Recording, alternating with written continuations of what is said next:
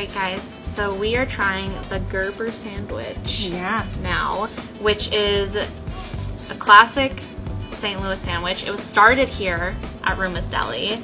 Um, so this is the original one that we're trying today. It's basically French bread with a Provel-like cheese on top and ham, and then it's sprinkled with paprika. Oh, but on the bread, it's smothered in garlic butter, which I'm really excited for. Yeah, me too. And we have pickles on the side And because you have to have pickles. Yeah. And served open face like this. This is one sandwich, by the way. One sandwich. Yeah. Should we dig in? Yes, let's do it.